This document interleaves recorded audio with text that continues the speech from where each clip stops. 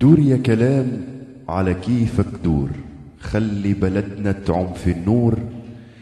ارمي الكلمة في بطن الظلمة تحبل سلمى وتولد نور تكشف عبنا ويلهلبنا لسعة في لسعة نهب نثور. دور يا كلام على كيفك دور. إذاعة منزل بوزيان الصوت الحر.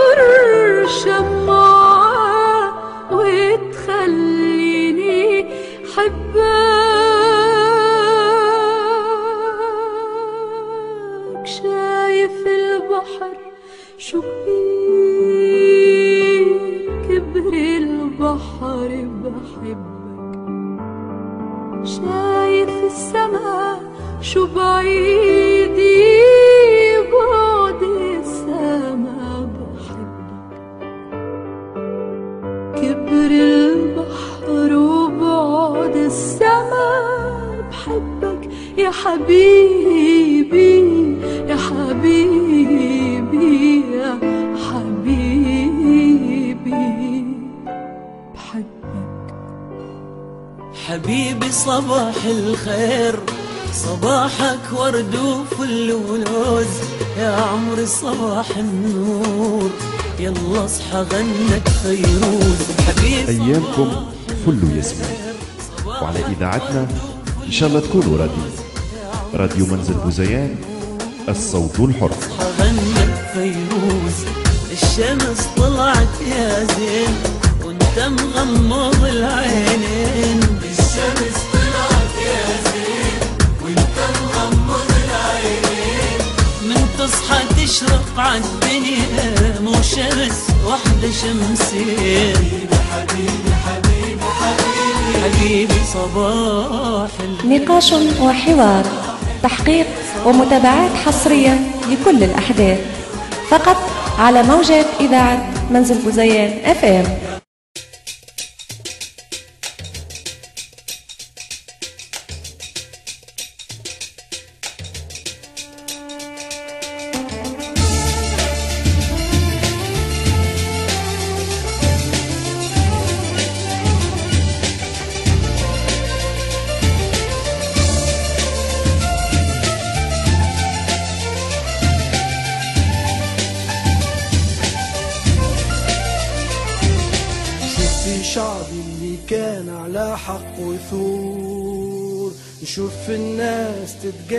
تنهب وتغور. ريت سحاب والريح تنفخ وتدور. حسيت الظلمة في الغفلة سرقت منا النور.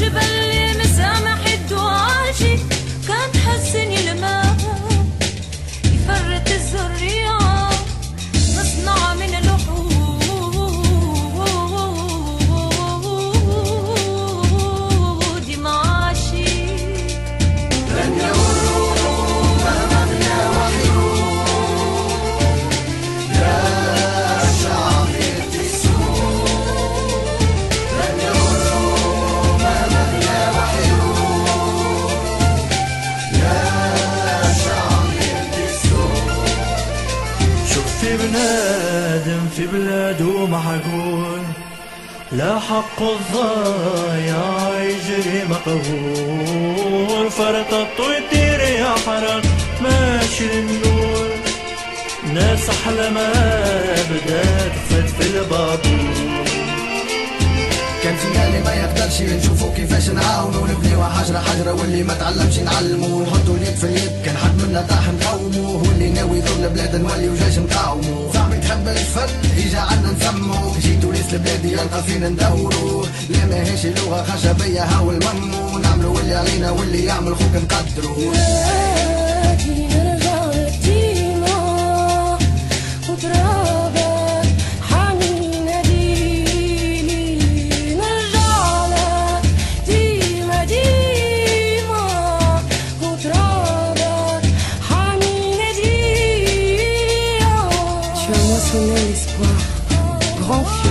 de ta passion. Puissant sera celui de ta décision. Et l'alarme de ton cœur derrière tes dents. Yatouns, écoute l'appel au devant. Yatouns, écoute l'appel au dedans. Yatouns, écoute l'appel au devant.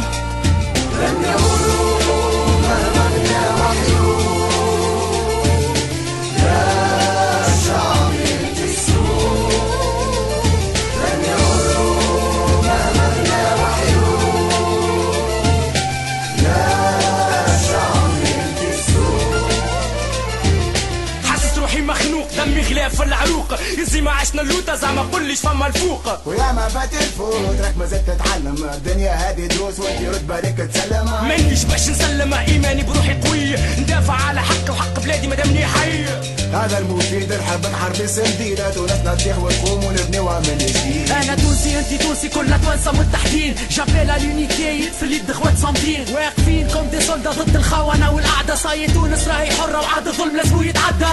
Demande aux martyrs, c'est pas facile de partir, il faut agir et foncer, finir ce qu'on a commencé. Liberté, solidarité, démocratie, à consommer sans modération, Tunisie.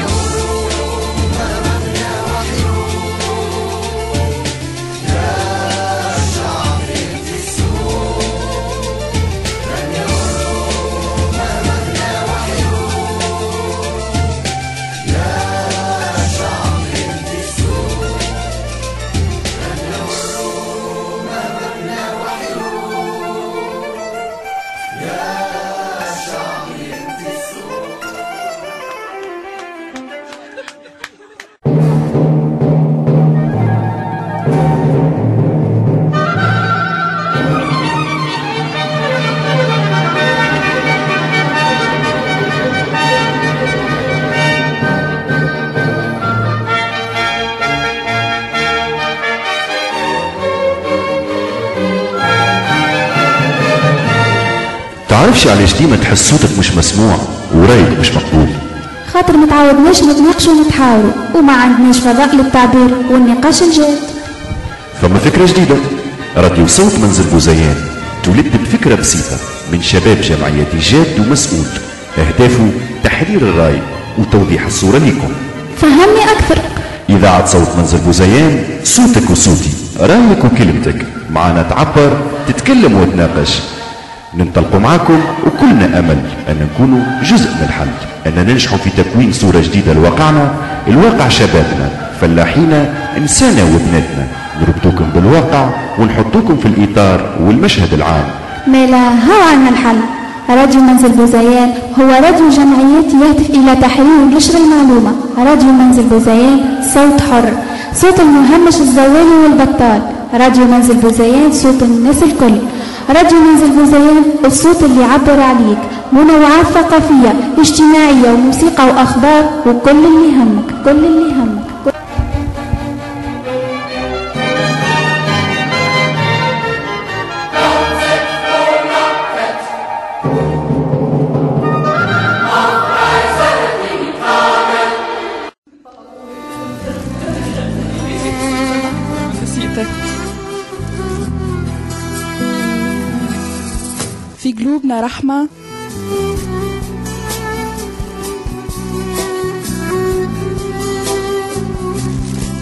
برنامج اجتماعي يهدف لرصد كل مشاغل واهتمامات أطفالنا ذوي الاحتياجات الخاصة.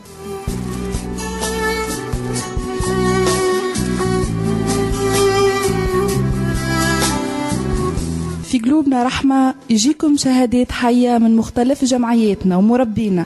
مع أمال كل نهار سبت على موجات إذاعة منزل بوزيان اف ام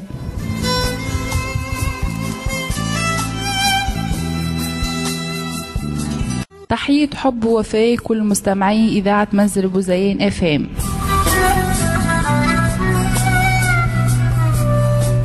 وين ما يوصلكم صوتنا أحنا معاكم. في حلقة جديدة من برنامجنا في قلوبنا رحمة. اليوم باش نتناولوا في حلقتنا طرق التربية وأصول التعامل مع الأطفال في المواقف والمناسبات الاجتماعية. من وراء الكواليس مساحة تنشيطية على أمواج إذاعة منزل بوزيان استضافات لمنشطي الإذاعة.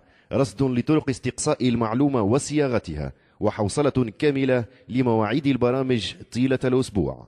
من وراء الكواليس مع سناء جندوزي كل نهار اثنين على أمواج راديو منزل بوزيان. آه، كما حكينا في التقديم اليوم باش نحكوا على أصول التعامل مع الأطفال في المواقف والمناسبات الاجتماعية آه، وأساليب التربية والتواصل معهم.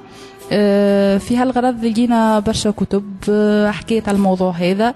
آه، من بينها فاعلية برنامج تدريب لتحسين مستوى النطق لدى عينة من الأطفال ذوي صعوبات التعلم للدكتور آه، سعيد كمال عبد الحميد.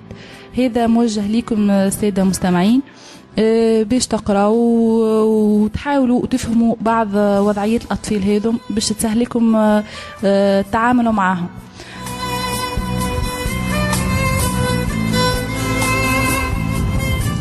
أطفال ذوي الاحتياجات الخاصة هي جزء من المجتمع اللي نعيش فيه. ولأن أغلب مجتمعنا لا يتقن فن التعامل معهم فمنا من ينظر إليهم نظرة شفقة ومنا من يخاف أن يتعامل معهم وينسى أنه في حقيقة الأمر الإنسان يوجد بالأصل طفل.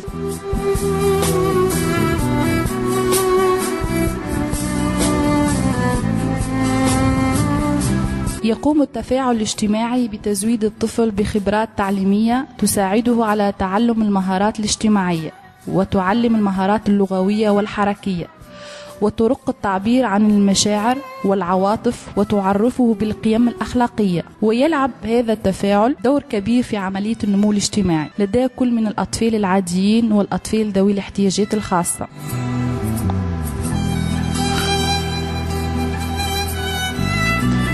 فمن منا لا يحتاج إلى تواصل وتفاعل اجتماعي مهما اختلف مستواه التعليمي أو الاجتماعي أو حتى قدراته العقلية والجسدية النفسية.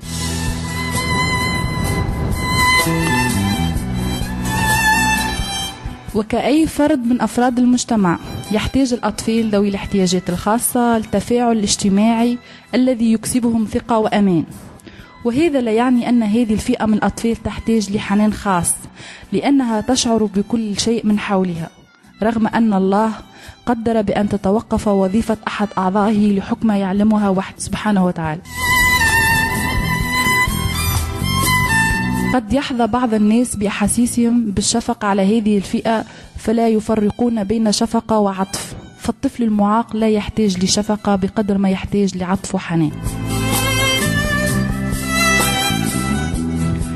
والقاعدة الأهم والأعم في التعامل مع ذوي الاحتياجات الخاصة هي التعامل الفردي أي أن تعامله باستقلالية وتشعره باهتمام وانتباه خاص حيث أن إحساس الطفل ذوي الاحتياجات الخاصة بنفسه يأتي من خلال معاملتك له.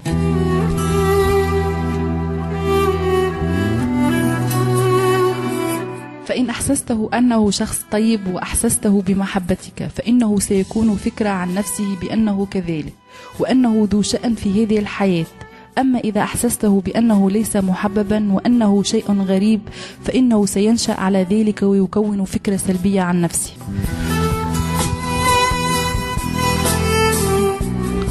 وللتواصل الاجتماعي فنون لا تقتصر على طبقة معينة من الناس. فهنالك أيضا إتكيت للتعامل مع أطفال ذوي الاحتياجات الخاصة. فقد يصدف أن تلتقي بهذه الفئة في مكان عام أو في الطرقات أو حتى تكون مستضيفا لهم في بيتك فما هي أصول التعامل مع الأطفال في المواقف والمناسبات الاجتماعية؟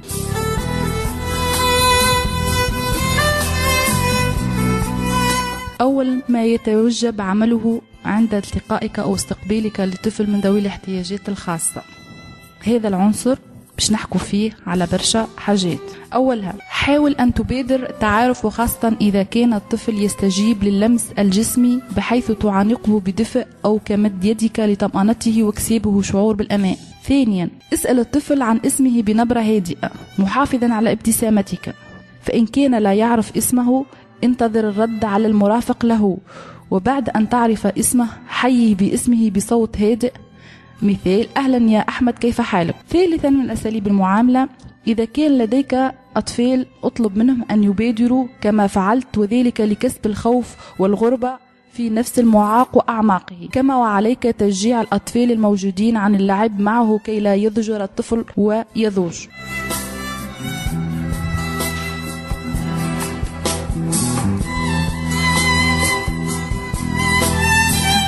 رابعا إن الصوت والكلمات المستخدمة جزء لا يتجزأ من عملية التواصل فنبرة الصوت الهادئة وسرعة الكلام البطيئة من شأنها أن تزرع الأمن والثقة وتزيد من تفاعل الطفل ذوي الاحتياجات الخاصة.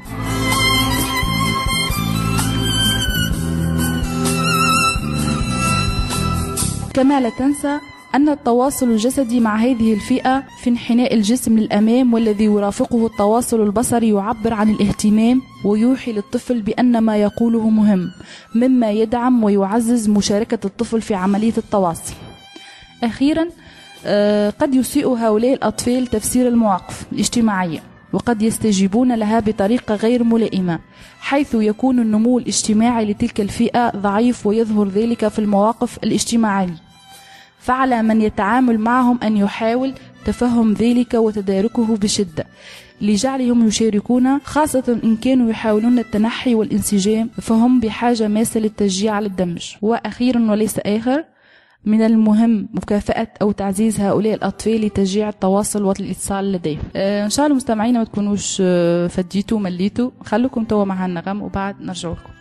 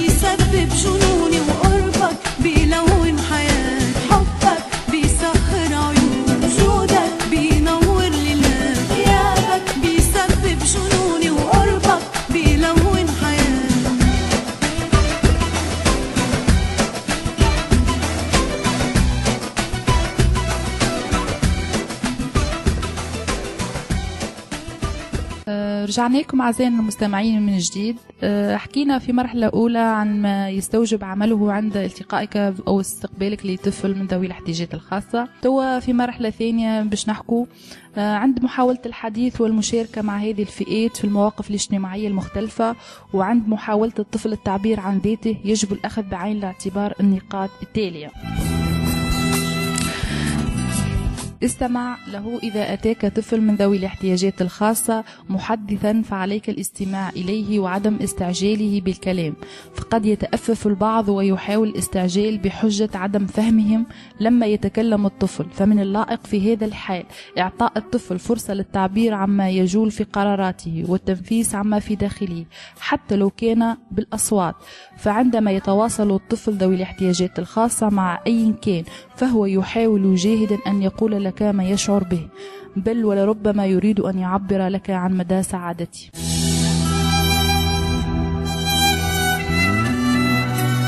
لذلك علينا محاولة فهم ما يقول ومساعدته في التعبير عن نفسه حتى لو استدعى الأمر الاستعانة بما يساعدنا على فهم أقواله في ذلك الموقف. باهتمامك فيما يقول أعطي الطفل اهتمامك وأصغي إليه حتى لو لم تفهم كل ما يخبرك به وإياك أن تشعره باللامبالاة فيما يقول أو أنك غير مكترث به.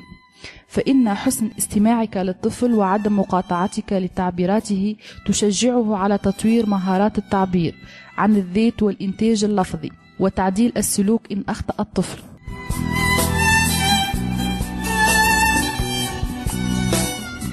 إياك وأن تعاقبه بقسوة جارحة ولا أن تفرط في دلاله بتجاوزك لأخطائه. فالقسوة الجارحة ستتبعها نظرات شفقة تشعره بالحزن والانتقاص وخاصة أن حصل هذا أمام الناس. كما يجب عدم تجاوز الأخطاء إن صدرت في مواقف معينة. بل كأي طفل سوي علينا تعديل سلوكه بالعقاب إن أخطأ وتعزيزه بالثواب إن أصاب. لا يكون العقاب أمام جميع الناس أي جمع من الناس إلا إذا كان عقاب لفظي لا يجرح. فالهدف من العقاب تنبيهه لعدم قبول السلوك الخاطئ. بذلك ينتبه الطفل لأخطائه فيتجنبها ويشعر بالمراقبة المستمرة والتي من شأنها تعويد الطفل على السيطرة على أخطائه وتجنبه.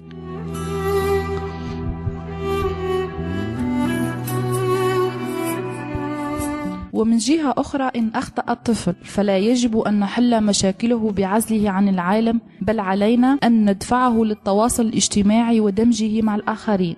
فإن من أهم الجوانب التي يجب أن نركز عليها ونأخذها بمحمل الجد هي الجوانب الاجتماعية والتواصلية للطفل المعاق.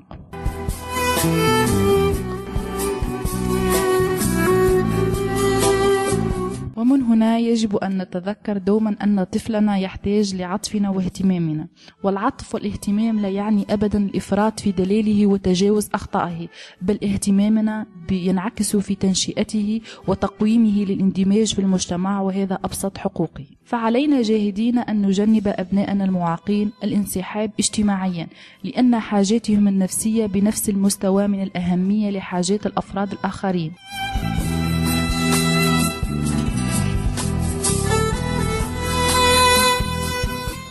ويجب أن نراعي أنه من أقل حقوق الطفل ذوي الاحتياجات الخاصة هو السماح له بالتفاعلات الروتينية لإعطائه الفرصة بالشعور بالأمن والثقة. وهذا كله يعتمد على من يتعامل مع الأطفال. الفئة هذه الخاصة منهم كمثل الطبقات الأخرى والناس عامة لهم كما لغيرهم فن في التعامل فالذوق الرفيع لا ينحصر مع فئة معينة من الناس بل هو طبيعة في الشخصية تنبع منه وتعكس نجاحه في الحياة ومن مع من حوله. آملين في التعاون والإندماج مع هذه الفئات وإعطائهم أبسط حقوقهم في الحياة والتفاعل مع الناس. كما رينا إنه معاملتنا لاطفالنا ذوي الاحتياجات الخاصة يلزمها تكون معاملة خاصة تراعي نفسية الأطفال اهتماماتهم مشاغلهم لأنه أي حركة تكون مش مقصودة ولا رد فعل ينجم يجرحهم ويمس مشاعرهم.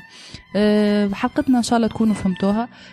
في نهاية برنامجنا تحية نقدموها لكل من الفريق العامل من مدن جدو تقني صوت وجميل فاضل في المونتاج. كانت معكم أمال في تأمين هالحصة. أه إن شاء الله تواكبونا واستنونا إن شاء الله الأسبوع المقبل. وتوا أخلوكم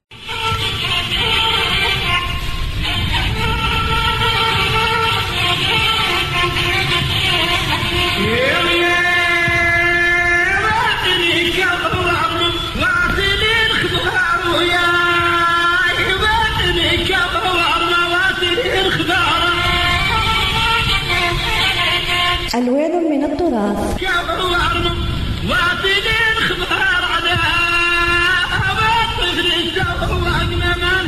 برنامج يعنى بالتراث يجمع بين الشعر الشعبي والغناء البدوي.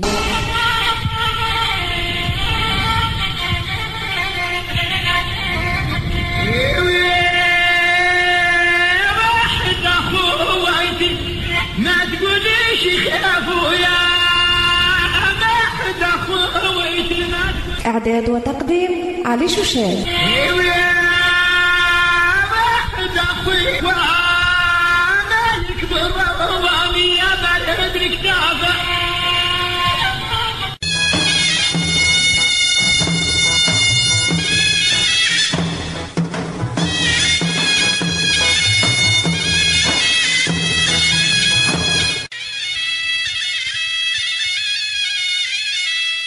أخواتي يا أخواني أهلا وسهلا ومرحبا بكم. أينما كنتم نحييكم نشد على يديكم. تحية إلى المرأة في البيت إلى الرجل في الحقول إلى مستعملي الطريق طريق عفوا إلى مستعملي الطريق. أينما كنتم في السوق في العمل نحن نحييكم ونشد على يديكم. وهذا برنامجكم برنامج ألوان من التراث.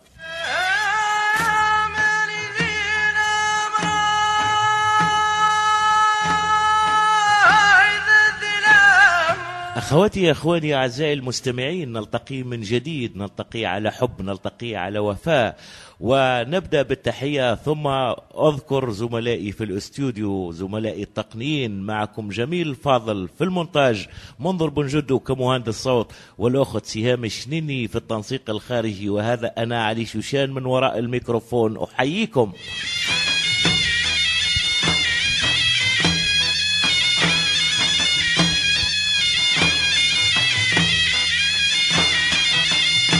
إذا نلتقي بالوفاء ومن شيم العرب ومن شيم البدو ومن شيمنا نحن على في هذه الربوع الوفاء وانطلاقا من هذه الكلمة التي تحمل ألاف المعاني ننطلق على بركة الله. وفاء منا لكل عزيز وفاء منا لكل من ساهم وترك بصمته على هذه الأرض. نقدم ما يستحق الوفاء. التراث هو شيء جميل وهو يحمل مخزون. ويحمل ابعاد كثيره وهناك الكثير من الأشخاص الذين ساهموا في نحت تراثنا. ومن ربوعنا ومن هذه الربوع العزيزة نذكر عزيزا علينا راحل هو الأخ الراحل المرحوم العلم شنيني. هذا الرجل الطيب هذا الرجل الكريم كان يعنى بالتراث كان يردد ويغني التراث كان يغني الأهازيج البدوية ويردد الأغاني التراثية التي تشد المسامع ويطرب لها الكثير. وأنا عرفته كصديق طيلة سنوات. كان هذا الرجل محب لتراثنا كان حافظ لتراثنا كان من الذين يكاد يقدس التراث. لذلك لمسة وفاء لهذا الرجل الذي عاشرنا ورحل نطلب له الرحمة والغفران ونذكره من خلال برنامجنا ونقدم له هذه الوصلة. ملاحظة هذا التسجيل وقع في أواخر التسعينات بإمكانيات بسيطة ومتواضعة. لم تكن لدينا في ذلك الوقت إمكانيات متطورة ولم نكن نحتوي أو نملك آلات تسجيل متطورة. ولكن واجب الوفاء يفرض علينا أن نقدم هذا الرجل في هذه المقطوعة القصيرة كوفاء لروحه الطاهرة. تحية إلى المرحوم العلم شنيني وأترككم مع هذه الوصلة بصوته بمرافقة القصاب الطاهر شنيني.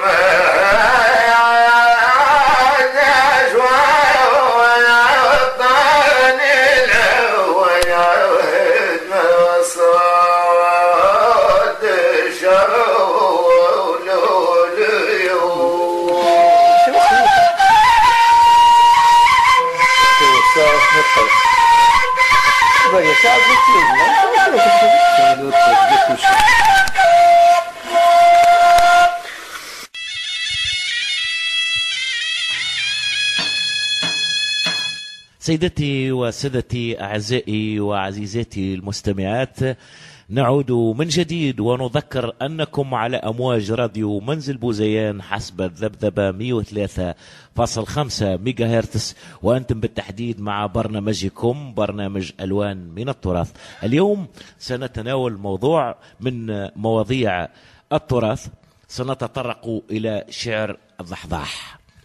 الضحضاح كما شرحته في حصص سابقة هو يعني الصحراء المقفرة الخالية التي لا حياة فيها إلا للوحوش للحيوانات البرية للرمال للكثبان للجبال. صحراء مترامية الأطراف لا يمكن أن يجتازها إلا الأبطال. ومن هنا انطلقت الفكرة لدى الشاعر الشعبي أو الشعراء الشعبيين لوصف الضحضاح. والضحضاح يعتبر من الأغراض الهامة والمهمة لدى الشعراء الشعبيين.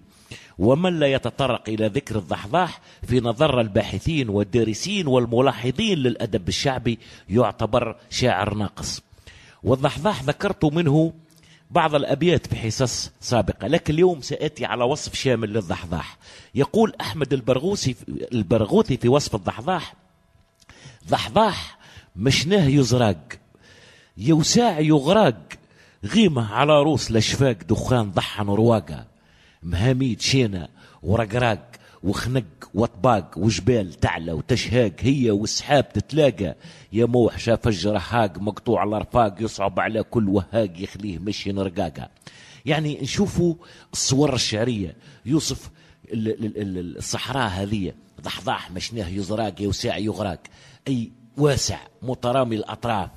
ضحضاح مشناه يزراق يوسع يغراق غيمة على رؤوس الأشفاق أي الغيوم تراها وكأنها تكاد تلتصق بكثبان الرمال. وصف الضحضاح هو وصف يعني دقيق وصعب. وفي قصيد آخر للشاهد لبيض يقول ضحضاح وبرور تصعاب لا ضوء لهاب في الليل لا تسمع كلاب تنبح الدل الذهابة كان هوش هداير صرابة. الصيد لبلاب والضبع شرباك لنياب والذيب طالب حسابه جنود القطا دايرة عشاب جنود القطا دايرة عجلاب والريم قلاب. ولد النعام عاش مهاب لا من يحير جلابه. يعني يوصف الحيوانات يوصف الوحوش الضارية الموجودة في تلك الصحراء وذلك الضحضاح. والضحضاح هو عادة الشعراء الشعبيين لما يوصفوا الضحضاح يصفون معه جواد حصان عربي جواد. ليش؟ لأن الضحضاح لا يمكن اجتيازه إلا بالجواد. في ذلك العصر ليس هناك إمكانيات نقل سريعة أو عصر عصرية أو متطورة غير الجواد. ولذلك الشاعر يستعمل في اجتياز الضحضاح عندما يتطرق إلى وصف الضحضاح في القصيد لابد أن يأتي على ذكر الجواد الذي سيجتاز به ال- الضحضاح. ومن هنا أعود بكم إلى البرغوثي لما يقول في قصيدة ال- ال- الضحضاح مشناه يزرق. إلى أن يصل يقول والله لو كنت حماك في نفس القصيدة يعني. الله لو كنت حماك يعني أمنيتي. أمنيتي يكون عندي جواد. الله لو كنت حماك في الجري سباك غدي يصير تاموش قلاق مطلوق ايده ساقة. ولد الكحيلة بتحقاق. جابوه سراق باعوه بيعان تضراق قبضوا ثلاثين ناقة. أزرق كما صم لمداق في اللون يغماق مرشرش طرشريش لو جاق دارة بدارة صفاقة. إلى أن ينتهي من وصف الجواد ثم يذكر لماذا هذا الجواد؟ يقول عليه نوصل البر دقاق. شفت يعني كيف يتمنى أنه يجتاز الضحضاح ويصل إلى المبتغى. عليه نوصل البر دقاق. لنخاف عياق.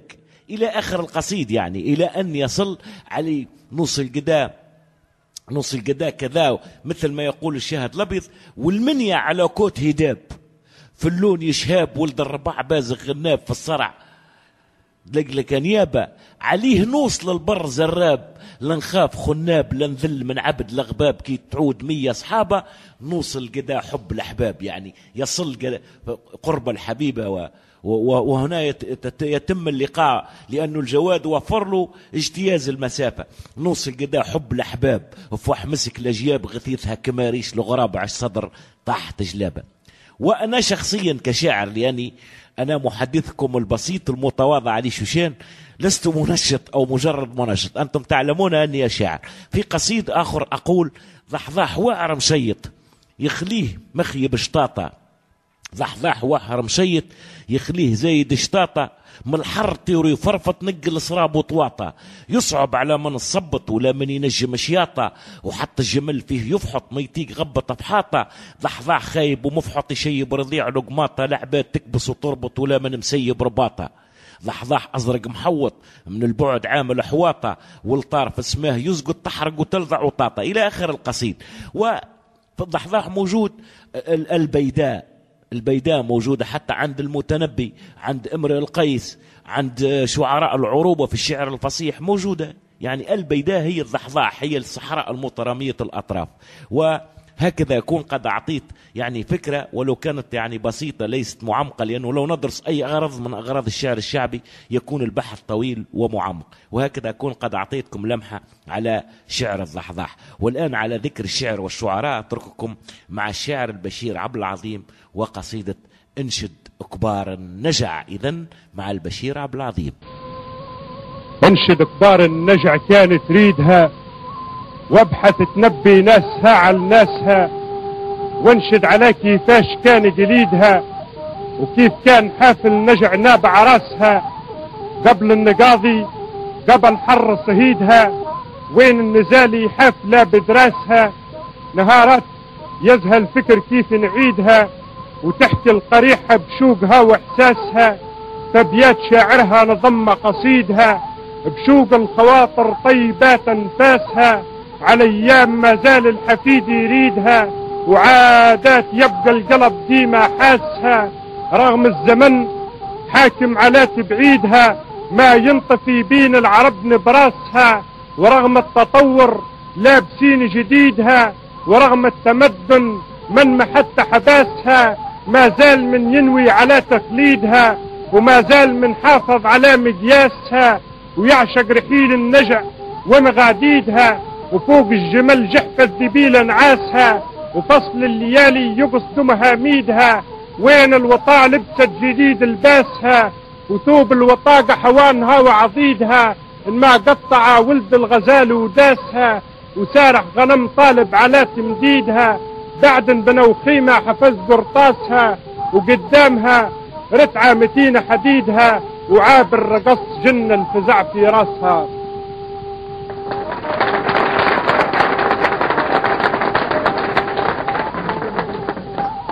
وهوينها والفاس هزت فيدها رماها الهوا شوق المسافر ماسها وبالصوت غنت على رحيل نديدها وردت غضبها في الحطب بفاسها وهي راجعة خطمة تحضم عيدها سحري وبحري جاب دين حباسها وكورة العقفة والضراري تريدها الواحد عصاته على خضورة قاصها معقاف باهي من خيار جريدها.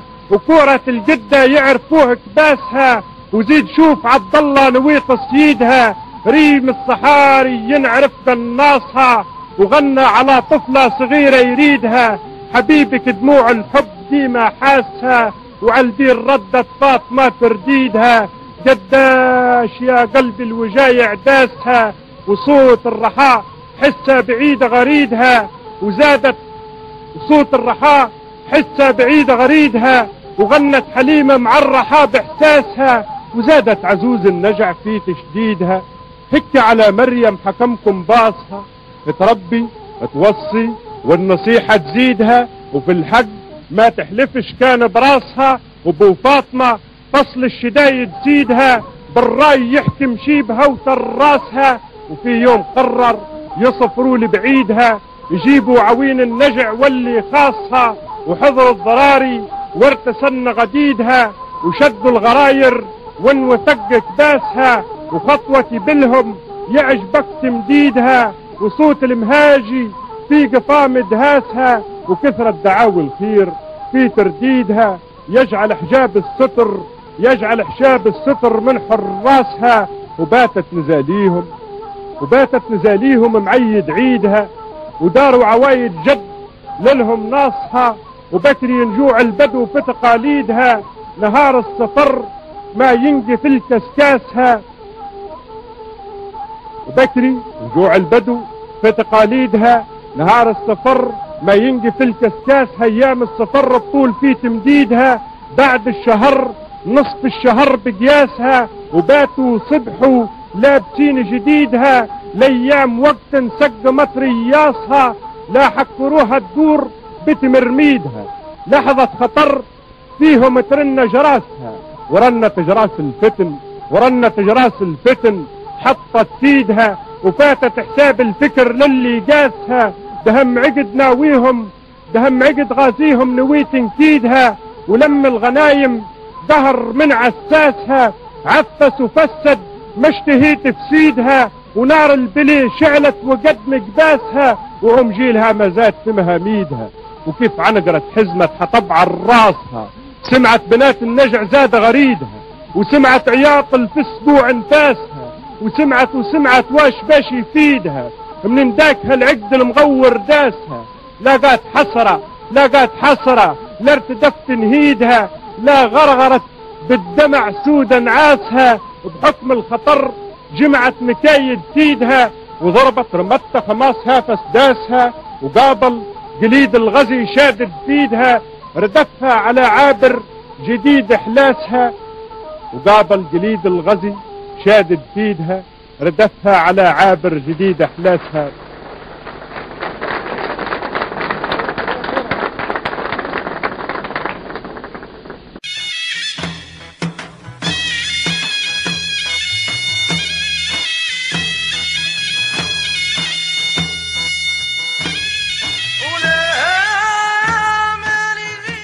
إذا أخواتي إخواني بعد ما استمعنا إلى الشاعر البشير عبد العظيم في هذا القصيد أنشد كبار النجع. نعود إلى النجع وتقاليد النجع. النجع كما ذكرنا في حصص سابقة هو مجموعة عائلات هي تجمع سكني للبدو. يسكن بيوت أو خيام الشعر ويسمى النجع. والنجع هو بإبله بقطعان غنمه بحله وترحاله. في الصيف وفي الخريف وفي الشتاء آه، في مواسم الحرث مواسم الحصاد مواسم جني الصابة سواء كان التمور أو الحبوب. هذا هو النجع يعني بحلوه ومره ولكن لو نلخص النجع في النهاية هو موروث تراثي جميل. والنجع أو الدوار يسمى في اللغة الفصحى لمن يريدون أن يعتمدوا الشرح الفصيح. يسمى الدوار هو مضارب القوم المضارب. هو الدوار هي مجموعة من المتسكنين في تجمع سكني. والنجع له العديد من العادات والتقاليد من ضمنها مواسم الحصاد الحرث الأعراس آه، حفلات الختان مواسم الجز أو الحبيلة كما يقال في لهجتنا في ربوعنا. حبيلة هي موسم. ونحن على مشارف آه، الربيع الآن.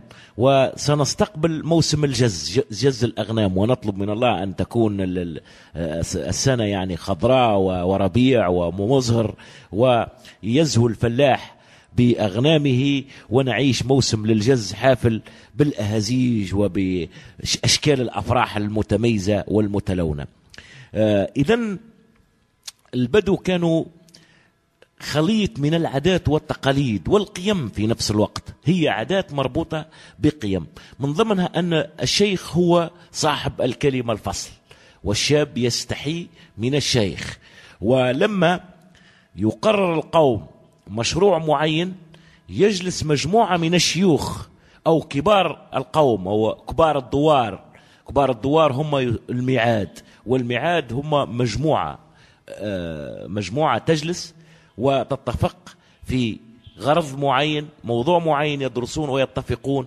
سواء كان موضوع إيجابي لتسوية مشروع معين أو لحل مشكلة معينة يسمى هذا الميعاد والميعاد هو مجموعة من الكبار يتناولون بالدرس موضوع معين عند البدو. لذلك سمي بالميعاد ويبقى السلطة والنفوذ الأخلاقي الأدبي لكبار القوم وهم كبار الميعاد بينما الشباب في المرتبة الثانية الشباب يحمل المشعل عن الشيوخ والشيخ يستحي عادة خاصة لما يكون الشيخ في إحدى المطبات التي تحدث له الحرج. ومن هنا جاءت قصة الشيخ الذي عشق فتاة فتأثر كثيرا واستغرب هذا الأمر وقد غزاه الشيب.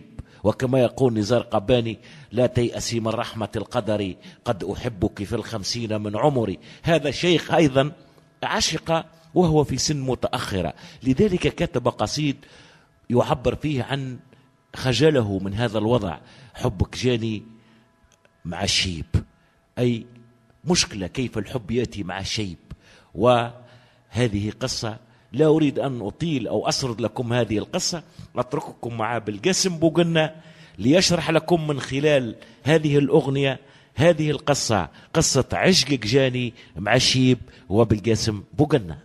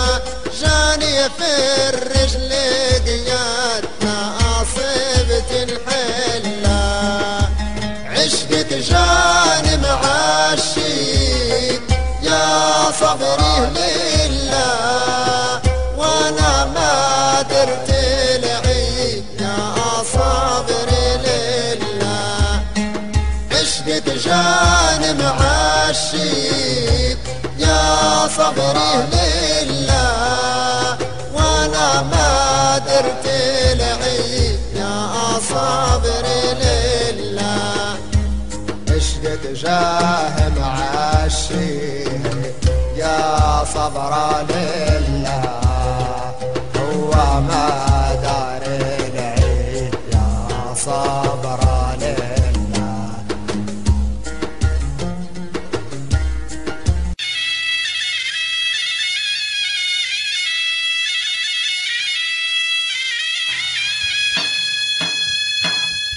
إذا خواتي إخواني نعود بكم ومع برنامجكم ألوان من التراث وللتذكير فقط لمن التحق بنا الآن. أنتم على موجات راديو منزل بوزيان حسب التردد والذبذبة 103.5 ميجا هرتز نتناول آه، التراث من جوانبه المتعددة ومن أبوابه الغزيرة والثرية.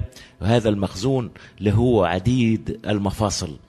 الشعر الشعبي والساحة التونسية عموما التراث التونسي والساحة الشعبية التونسية أنجبت عديد الشعراء عبر العصور وأنجبت الكثير من الطاقات الإبداعية في الأدب الشعبي.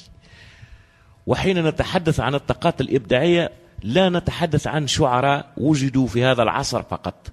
أنجبت الساحة عديد الشعراء الفحول مثل آه، المبروك الحمدي مثل علي لمين السماري مثل أبدأ بشعراء ربوعنا مثل الشيخ علي بن صالح الزويدي مثل الشيخ عبد الله بعياشي السماري هؤلاء كلهم شعراء فحول والأسماء عديدة واعتذر إن لم آتي على ذكر ال- ال- المجموعة كاملة. وهناك شعراء في جهات أخرى مثل المبروك الحمدي محمد الهادي بوكوبا شاهد الأبيض محمد الصغير ساسي آه، شبيل وأحمد البرغوثي. أحمد البرغوثي هذا ملقب بعميد الشعراء الشعبيين. أحمد البرغوثي وجد في منتصف الأول للقرن العشرين أي في 1934 في ذلك الوقت. وكان القوم كان عامة الناس آه، يعانون من الجهل من الأمية. كان البرغوثي في ذلك الوقت مثقف وكان موظف في عمالة قبلي في الثلاثينات. كان موظف أعرف يعني موظف في فترة الثلاثينات ومثقف ويدرس ال- ال- العلوم والقرآن يعني شيء كبير. أحمد البرغوثي قصائده آه، عندها نسج خاص الشكل الفني. عنده استعارات غير عادية في الشعر. عنده صور غير عادية. وأحمد البرغوثي هو أصيل قرية البرغوثية. نسبة إلى البرغوثية لقب أحمد البرغوثي. وحتى نعود بكم كوننا أمة واحدة. اللقب برغوثي موجود كذلك في فلسطين. هذا دليل على أننا أمة واحدة.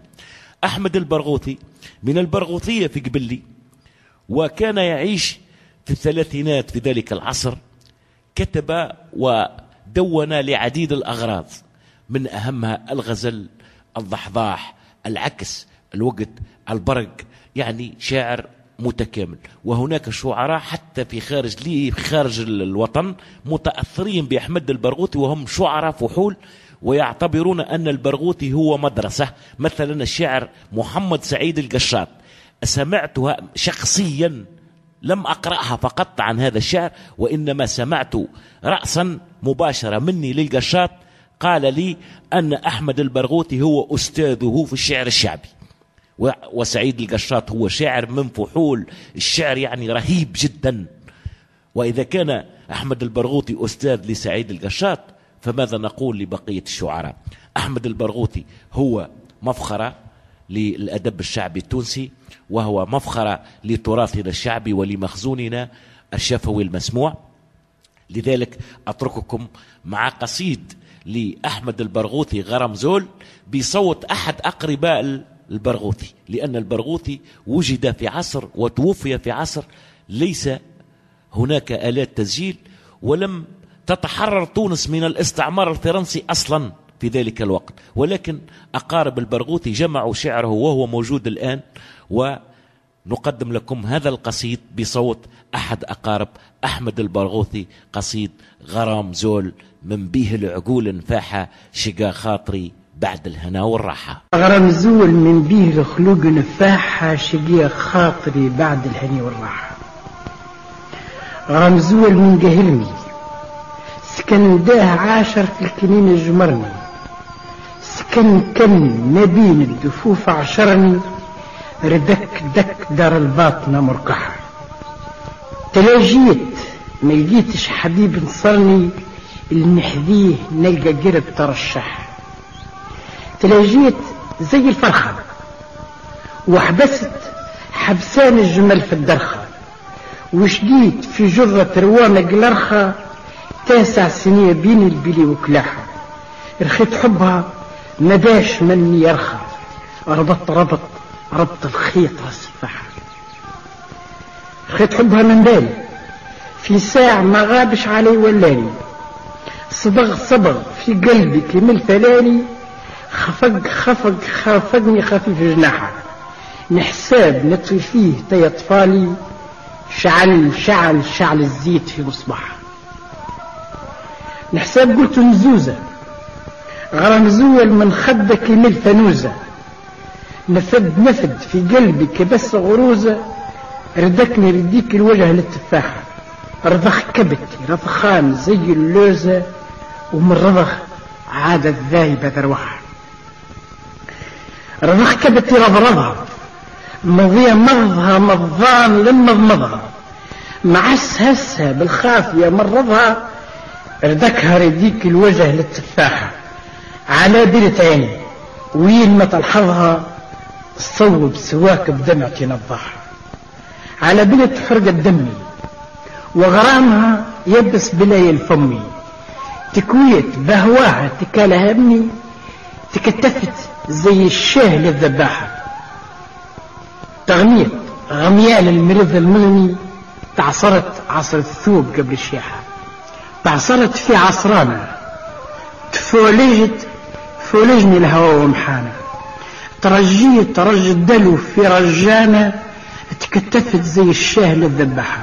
وما عاد كان القبر والدفانة وات علي القول للنواحة ما عاد كان دفيني ولا الزوال الباغرة يحذيني.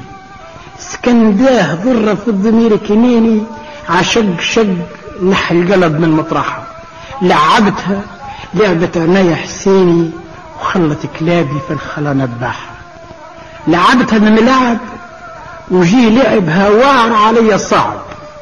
متعود في جرة هواها تاعب علي لعبها ضيق وسع الساحة وجوادها طامي علي داعب لا عمتها غاطس ولا طفاحة لا عمتها برياسة ولا طينها نجمت فيه ملاسة ولا ساسها نفعت عمها سياسة نبنيه يتهدم سهيلة ياحة.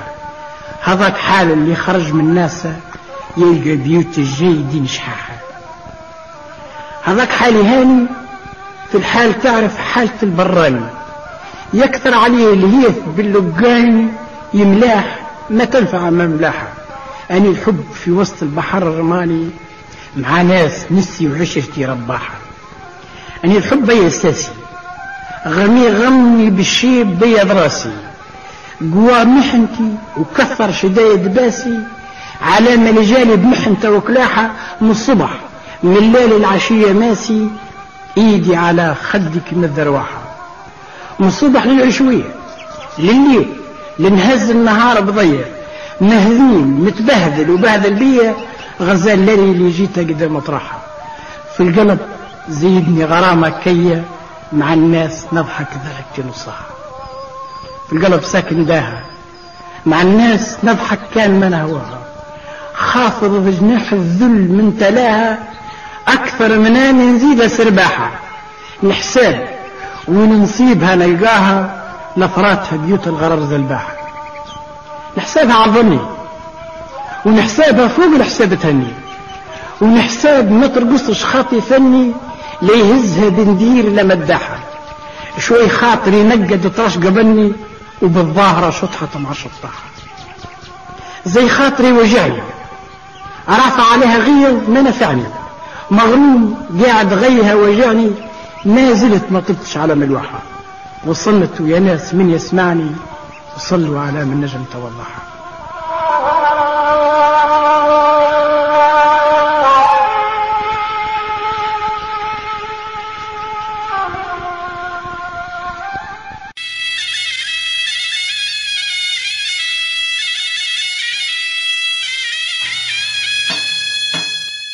إذا سيدتي أنيستي سادتي نعود بعد ما استمعنا إلى قصيد الشاعر أحمد البرغوثي ونواصل معكم في برنامج ألوان من التراث.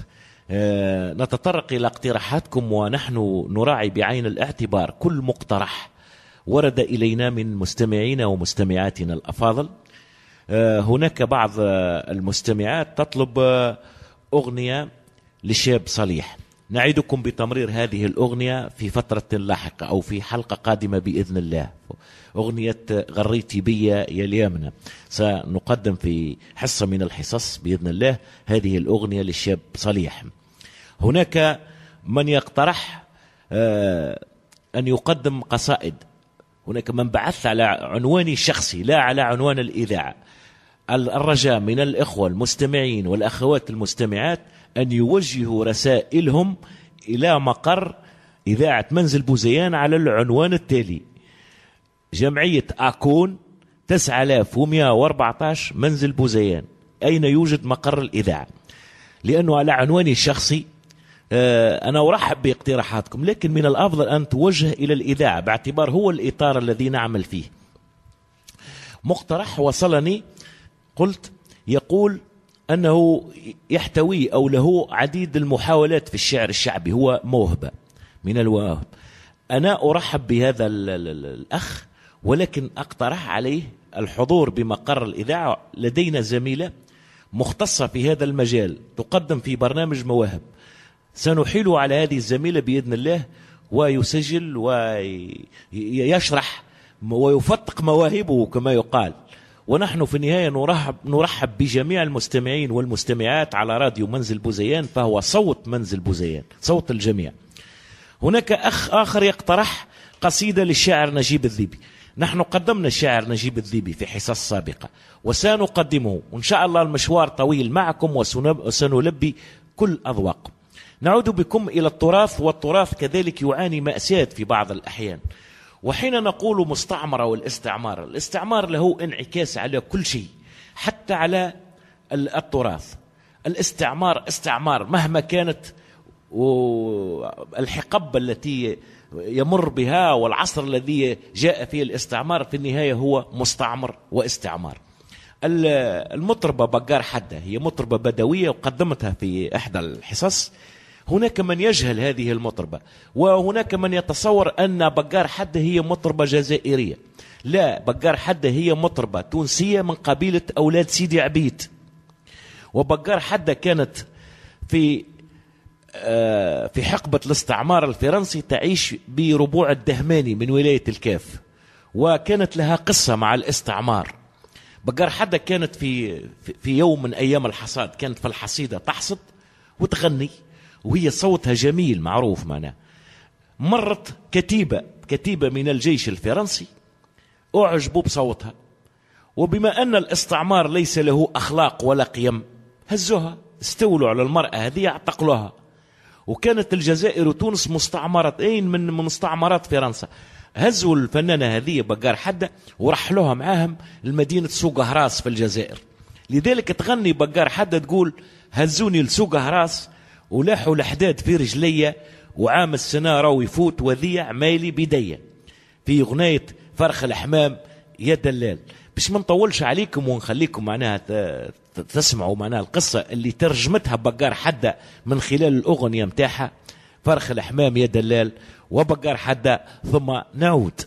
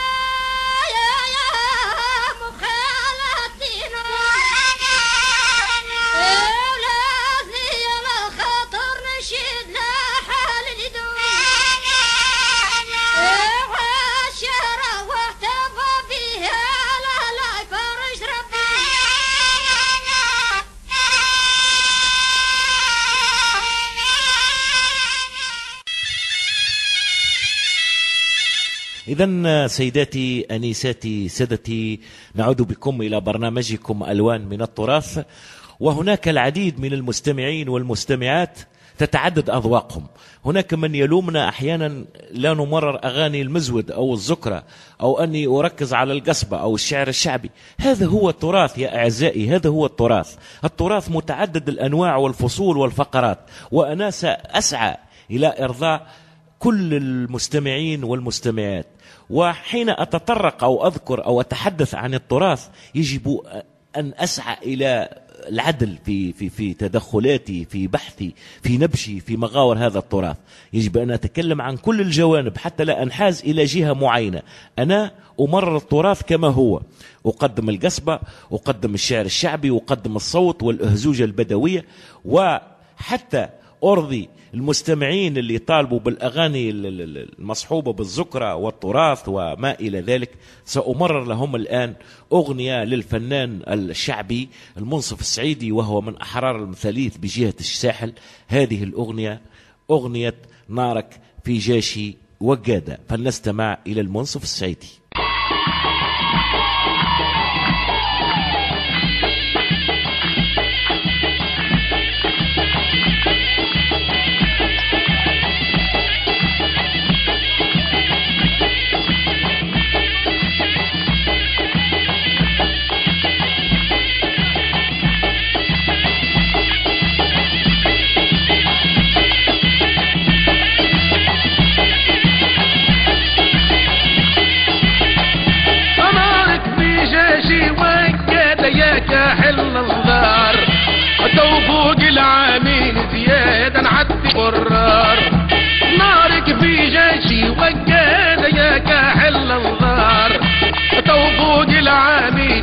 زيادة نعدي في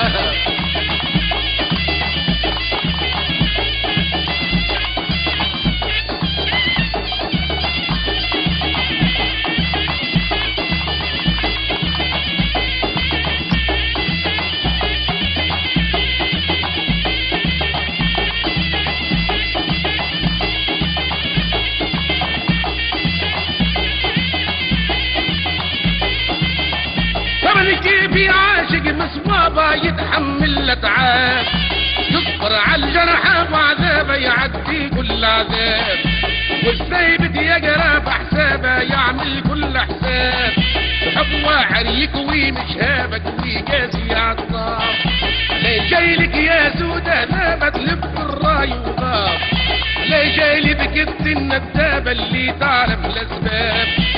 مزرعي من بعد ديابة ويا حرة الأحرار. ونرى حبك باقي لهاب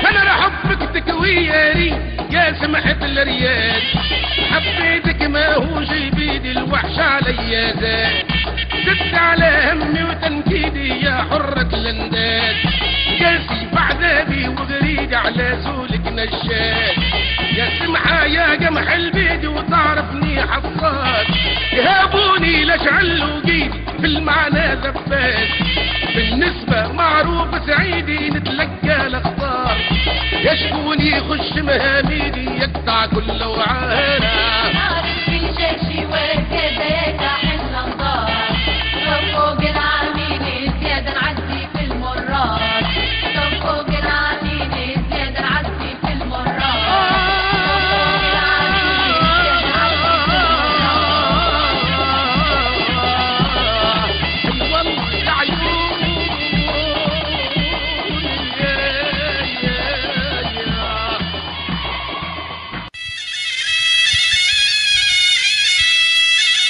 نعود بكم مستمعينا الأكارم وما زلنا معكم من خلال هذا البرنامج برنامجكم ألوان من التراث.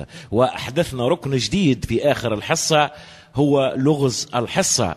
واليوم سنعطي هذا اللغز في أول حصة والرسائل ترسل أو الأجوبة ترسل إلى راديو منزل بوزيان 9114 منزل بوزيان.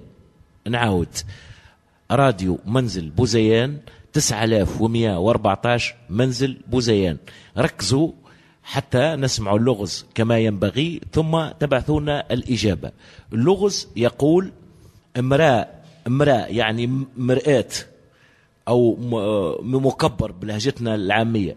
نقولوا مرأة الهند عينة ولا ماسك رعة وجاء مسكنا بين السماء والقاع نعاود اللغز. امرأة الهند عينة ولا ماسك راعة وجاء مسكنا بين السماء والقاع ما هو هذا الشيء؟ نعاود لكم للمرة الثالثة. امرأة الهند عينة ولا ماسك راعة وجاء مسكنا بين السماء والقاع إذا بهذا اللغز أخواتي إخواني نكون قد وصلنا إلى نهاية حصتنا وبانتظار رسائلكم وإلى أن نلقاكم في حصة قادمة. أستودعكم الله ولا أنسى أن أقدم تحية إلى زملاء التقنيين في الأستوديو منظر بونجدو كمهندس صوت جميل الفاضل في المونتاج والأخت سهام السنيني في التنسيق الخارجي. هذا أنا علي شوشان من وراء الميكروفون أحييكم وإلى اللقاء.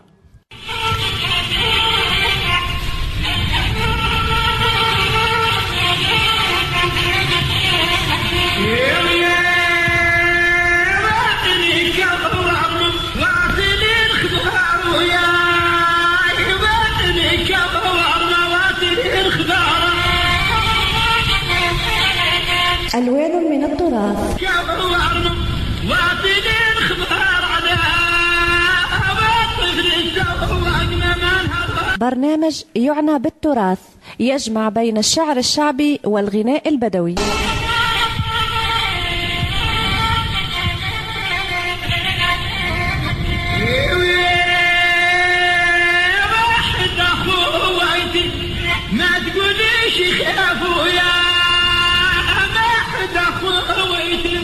إعداد وتقديم علي شوشان. أخوي Allah'ım.